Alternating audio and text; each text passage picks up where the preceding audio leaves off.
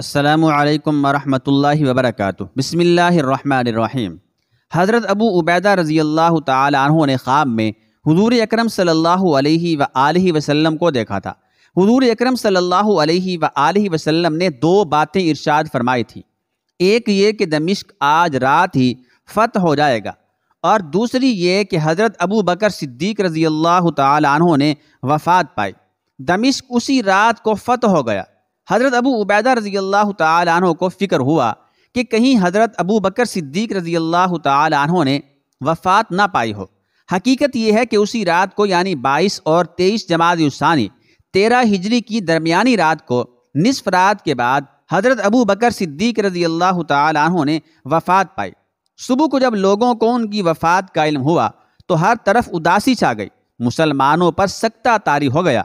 मर्द, औरतें और बच्चे सभी ज़ारो कतार रोने लगे। हज़रत अबू बकर सिद्दीक रज़ी अल्लाह तु ने अपनी हयात ही में हज़रत उमर फ़ारूक रज़ी अल्लाह तु को अपना जानशीन मुकर करके उनके लिए बैत खिलाफत ले ली थी। हज़रत वाकदी रहमत फरमाते हैं कि जब हज़रत उमर फ़ारूक रज़ी अल्लाह तु खलीफा हुए तो अहल मदीना में से कोई ऐसा शख्स बाकी नहीं रहा जिसने उनके हाथ पर बैत ना की हो।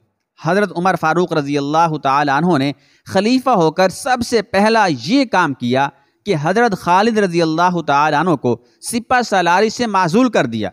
एक कासिद मुल्क के शाम में हज़रत अबू उबैदा रज़ी अल्लाह तु के पास भेजा। उन्हें लिखा कि हज़रत अबू बकर सिद्दीक रज़ी अल्लाह तु ने वफ़ात पाई। अब लोगों ने मेरे हाथ पर खिलाफत के लिए बैत की है। मैंने हज़रत खालिद रज़ी अल्लाह तु को सिपा सालारी से माजूल करके आपको जैश इस्लाम का सालार आज़म मुकर किया है। आप हज़रत खालिद रज़ी अल्लाह तु से ज़िम्मेदारी लेकर उन्हें सबक दोष कर दें। हज़रत अबू उबैदा रज़ी अल्लाह तु के पास हज़रत उमर फ़ारूक रज़ी अल्लाह तु का ये फरमान उस वक्त पहुँचा जब हज़रत खालिद रज़ी अल्लाह तु तोमा के ताकुम में गए हुए थे। हज़रत अबू उबैदा ऐसे नेक दिल इंसान थे कि उन्होंने किसी मुसलमान से भी अपनी तकर्री और हज़रत खालिद की माजूली का ज़िक्र नहीं किया। यहाँ तक कि जब हज़रत खालिद वापस आए तो उनसे भी इसलिए ना कहा कि उन्हें मलाल होगा। जब हज़रत खालिद रज़ी अल्लाह तहो तोमा के ताकुब से वापस आए तो उन्होंने दमिश की फ़त और तोमा के ताकुब वगैरह के तमाम हालात हज़रत अबू बकर सिद्दीक रज़ी अल्लाह तहों को लिखे। उन्हें उस वक्त तक हज़रत अबू बकर सिद्दीक रज़ी अल्लाह तु की वफ़ात का इल्म नहीं हुआ था। उस ख़त में ये भी लिखा, हज़रत अबू उबैदा रज़ी अल्लाह तु शुरू से और मैं तलवार के ज़ोर से दमिश्क में दाखिल हुए। अब ये शहर सुल के ज़रिए फ़तह समझा जाए या ज़रू तलवार के। नींद इस शहर में गेहूँ बहुत ज़्यादा है। शहर वाले कहते हैं कि चूँकि सुल के ज़रिए से शहर फतह हुआ है, इसलिए मुसलमान गेहूँ लेने के मुस्तक नहीं हैं। मैं कहता हूँ कि गेहूँ मुसलमानों को मिलने चाहिए। आप तहरीर फरमाइए कि मैं क्या करूँ। जब ये ख़त हज़रत उमर फ़ारूक रज़ी अल्लाह तहों के पास पहुँचा तो उन्हें सख्त नागवार गुजरा। उन्होंने हज़रत खालिद रज़ी अल्लाह तहों के कासिद से दरियाफ़ किया।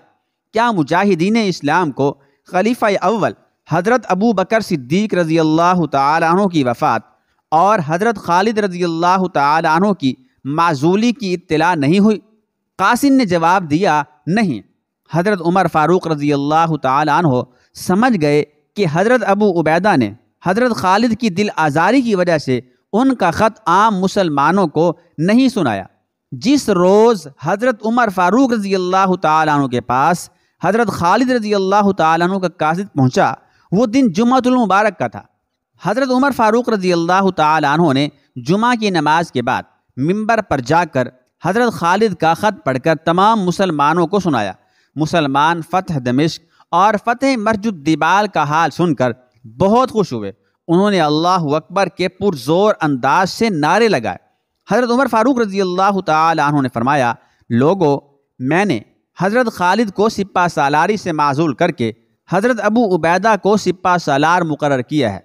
आप सबको मालूम है कि हज़रत अबू उबैदा रज़ी अल्लाह तहो हज़रत खालिद रज़ी अल्लाह तु से पहले ईमान लाए।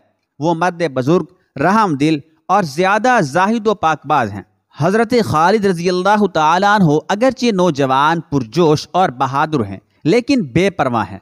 आमद व खर्च का बाकायदा हिसाब नहीं रखते। तुम में से किसी को इसमें कोई एतराज़ तो नहीं है? किसी ने भी कोई एतराज़ नहीं किया।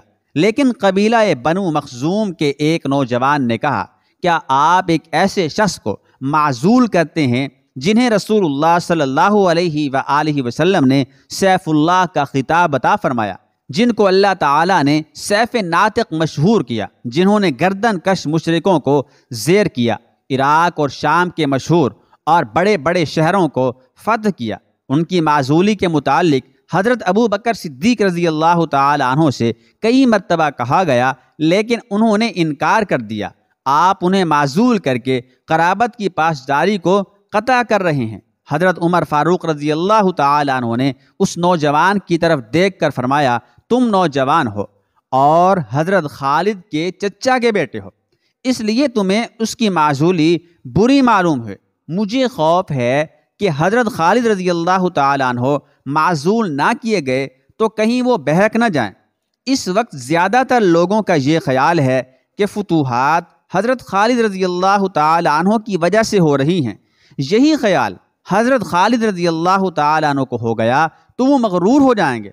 याद रखो, फतूहत हज़रत खालिद रज़ी अल्लाह तहों की बहादरी की वजह से नहीं, बल्कि अल्लाह ताला की मदद की वजह से हो रही हैं। अल्लाह ताला ने अपने महबूब रसूल अकरम सल्लल्लाहु अलैहि से ईरान शाम की फ़तह का वादा किया है, और वो इस वादे को वफा कर रहा है।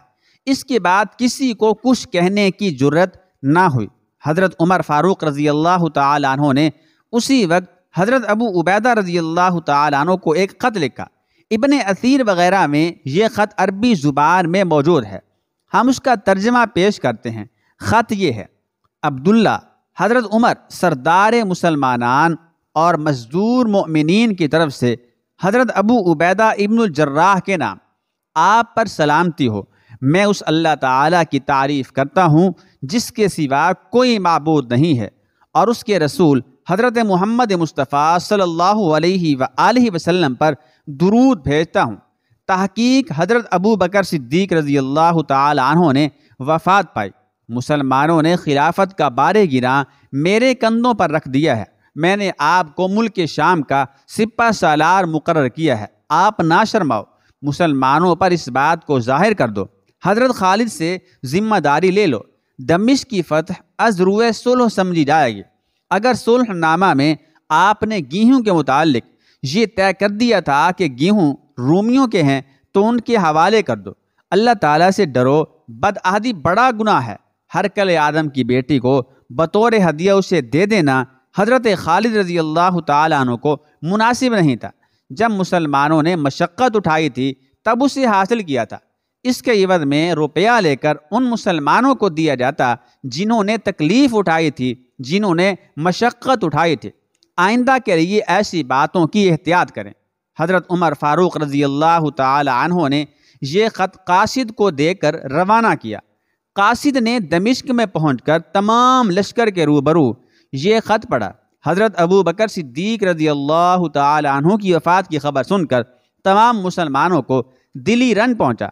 हज़रत खालिद रज़ी अल्लाह तहों अपनी माजूली पर कुछ कबीदा खातिर नहीं हुए। उन्होंने फरमाया, कसम है अल्लाह ताला की कि हज़रत उमर फ़ारूक रज़ी अल्लाह तहों ने मुझे बड़ी ज़िम्मेदारी से सुबह दोष कर दिया। लेकिन अफसोस इस बात का है कि जब मैंने इराक़ और शाम में फतूहत की, तब माजूल किया गया। एक सिपाही ने खड़े होकर कहा ए सरदार, क्या कहते हो? चुप रहो, इसी से फितना पैदा हो सकता है। हज़रत खालिद रज़ी अल्लाह तु हज़रत उमर फ़ारूक रज़ी अल्लाह तु की मौजूदगी में फितना पैदा होने का एहतमाल ही नहीं हो सकता। इबन असीर वगैरह कई मर्रखों ने लिखा है कि हज़रत उमर फ़ारूक रज़ी अल्लाह तहों ने हज़रत खालिद रज़ी अल्लाह तहों को खलीफा होते ही सन तेरह हिजरी में माजूल कर दिया था। लेकिन बाद मर्रखीन कहते हैं कि सत्रह हिजरी में माजूल किया। चूँकि ज़्यादातर तारीख़ों में तेरह हिजरी में माजूल किया जाना लिखा है, इसलिए सही यही है। मर्रखीन ने हज़रत खालिद रज़ी अल्लाह तहों की माजूली की बहुत सी वजूहत लिखी हैं। मुख्तलिफ़ तारीख़ों में मुख्तलिफ़ वजूहत तहरीर हैं। सब का खुलासा ये है कि हज़रत खालिद रज़ी अल्लाह तु गैर मोहतात थे कि उन्होंने जोश में आकर कई मुसलमानों को कत्ल कर डाला था। ये वजह गलत है। उनके मुसलमान होने का खालिद रज़ी अल्लाह तहों को इल्म ही नहीं था और वो हिसाब किताब बाकायदा ना रखते थे। ये भी सरासर गलत है। इस किस्म की और कई वजूहत लिखी हैं। लेकिन ज़्यादातर मर्रखों का कौल ये है कि उनकी माधुरी इस वजह से अमल में आई कि मुसलमानों को ये ख्याल हो गया था कि हज़रत खालिद रज़ी अल्लाह तहों की वजह से फतूहत हो रही हैं। हज़रत उमर फ़ारूक रज़ी अल्लाह तहों ने मुसलमानों का ये ख्याल बातिल दूर करने के लिए उन्हें माजूल किया। तारीख़ तिबरी में भी उनकी माजूली की यही वजह लिखी है। हकीकत यह है कि हज़रत खालिद रज़ी अल्लाह तहों की माजूली नहायत ही अहम काम था। आम तौर पर मुसलमान उनके मद्दा थे। एहतमाल था कि कहीं वो बिगड़ ना जाए। लेकिन फ़ारूक सितबत व जलाल का ये आलम था कि कोई शख्स भी चूँ चुरा ना कर सका। हज़रत खालिद रज़ी अल्लाह तहो माजूली के बाद हज़रत उमर फ़ारूक रज़ी अल्लाह तहों की खिदमत में पहुँचे और अर्ज़ किया, या खलीफतुलमसलिमिन आपने मेरे साथ नाइंसाफ़ी की। हज़रत उमर फ़ारूक रज़ी अल्लाह तु ने फरमाया, हज़रत खालिद, अल्लाह ताला से डरो। मैं नाइंसाफ़ी से दूर भागता हूँ। मुझे खौफ हुआ, कहीं आपका नफ्स आपको धोखे में ना डाल दे। कहीं आप फ़ख्र गुरूर के शिकार ना हो जाओ। वल्लाह, मैं आपको महबूब रखता था और अब भी महबूब रखता हूँ। आपको अबू उबैदा रज़ी अल्लाह तु का माँ तहत अफसर किए देता हूँ। हज़रत खालिद रज़ी अल्लाह तु राज़ी हो गए। हज़रत उमर फ़ारूक रज़ी अल्लाह तु मालूम हुआ कि बाद लोगों का ये ख्याल है कि हज़रत खालिद रज़ी अल्लाह तु को ख़यानत की वजह से अलहदा किया गया है। आपने तमाम अमालान हुकूमत को लिखा। हज़रत खालिद को ख़यानत या खफगी की वजह पर माजूल नहीं किया गया, बल्कि इसलिए कि लोग इनके मफतून होते जाते थे, समझते थे, फतूहत इनकी वजह से हो रही हैं। फिर हज़रत खालिद बिन वली रज़ी अल्लाह हो शाम में चले आए।